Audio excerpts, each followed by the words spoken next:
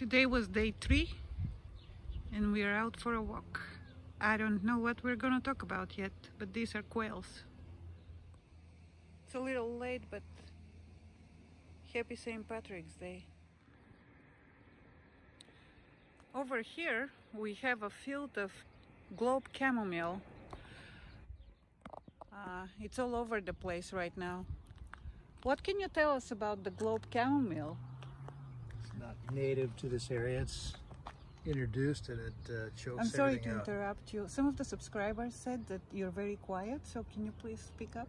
No, it's not native to this area. It was introduced and it's choking everything out as you can see.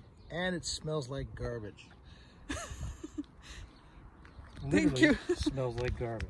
Thank you, Mr. Cheerful. A couple of days ago, uh, we came across some wolfberry bush. Uh, here is another one, one of many.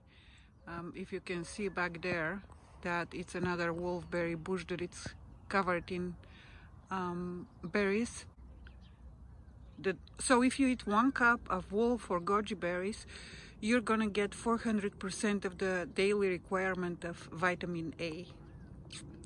Just a little fact.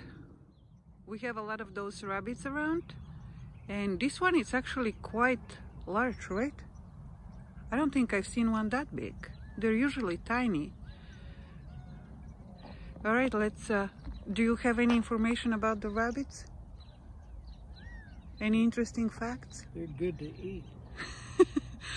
besides that uh, unfortunately um, every night we hear coyotes in the wash and i've put videos of that too the coyotes so going bananas in the desert wash and usually that is because they're fighting over one of those rabbits so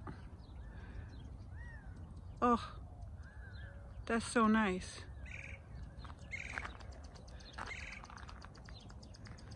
There is always something interesting as soon as we walk out the door.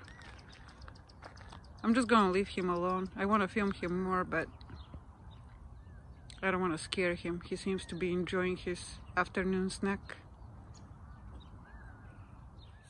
So that's just a little cottontail. But we have black-tailed jackrabbits around here with huge ears. Their ears act like radiators. They basically pump blood up into these great big ears, and then uh, their blood is air-cooled. That's how they survive in the hot summers down here. Thank you. And this over here is a cactus called Christmas cholla. And there is a car coming, so just bear with us for a second.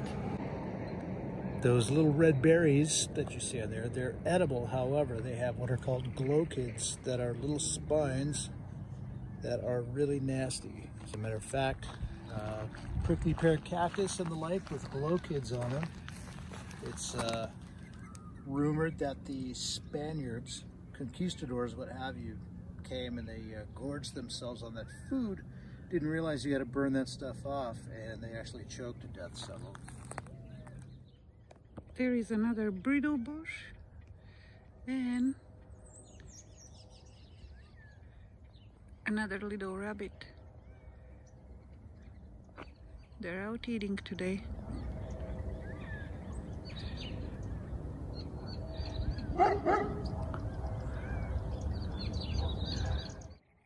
And much to say here because these dogs are barking like crazy, but it's just such a beautiful shot with the sunset, the cacti.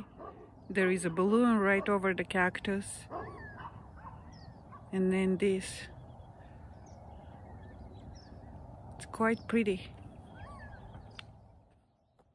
Look at all the quails running across the road. They're so cute when they have babies and the babies are running after them as well. Look at them. and all these cacti over here that is the teddy bear jumping cholla but I think we're gonna do a whole separate video because there is a lot to say about those guys and that is what they look like when they die makes a nice artwork piece.